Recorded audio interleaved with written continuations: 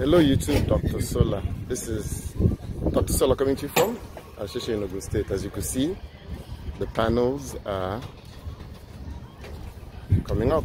Pretty excited. So this is, how many panels are here now?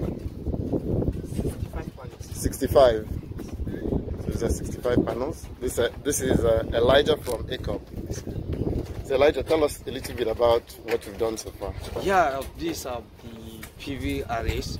In each of the arrays, we have 65 per PV connected in series, 13, 13 in series into five places to make one array. So we have 65 panels. So that is how the connection goes. We have that six strings at the end of everything. How's the experience been so far with the delays and everything that you're experiencing? Uh, yeah, quite sure. We being the side definitely most experienced this. We are always ready to face any kind of disappointment side. So it's cool. Once you believe everything work according to God's plan. So we move on. Thank you very much. So these are the guys from ACOP that are putting this together for us. Um, as you could see, everything has been laid out. You could see your, the white cable there is your earth cable. And he's done it across. So what they did is they finished um, putting the rails up. And then once they were done with the rails, they aligned it to make sure everything matches. They plumbed it.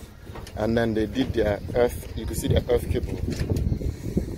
So they did their earth cables and then um, you can see we have labor bringing the panels up. Sorry, no vex. And then another set of panels over here. We're using a cherry picker to pick them up from downstairs to bring them all the way up here. Um, so when this is when that's done, we'll do this side. We're short um, rails and we're short um? We're short rails and we're short um, L foot. And our supplier is struggling to get them to us. I, I, I really don't know what to say about that one. That one's really driving me crazy because that's what I was going to delay the job. Uh, we're also missing some items like MC4 connectors and then we're going to order cables tomorrow that they use to string everything together. So we're going to need over a thousand uh, meters of cable in order for us to arrange the string. So it's a lot of work, but I'm thankful and I'm grateful. It's ongoing. So yeah, Jinko panels. Instead of bringing them up, as bring them up, they are assembling them. So let me see if I look at it from this perspective, if it makes better sense.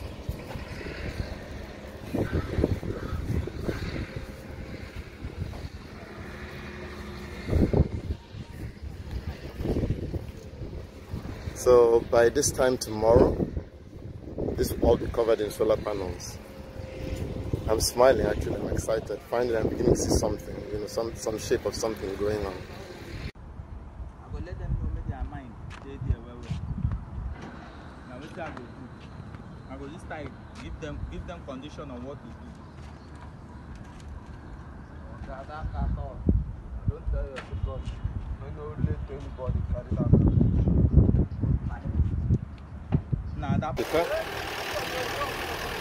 So the bucket goes down and then they load um, I think seven or eight panels into it and then it gets brought up here.